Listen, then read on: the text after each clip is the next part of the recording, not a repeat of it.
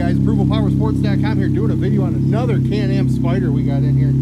This one's a 2019 Can-Am Spyder. No clutch, electric shift.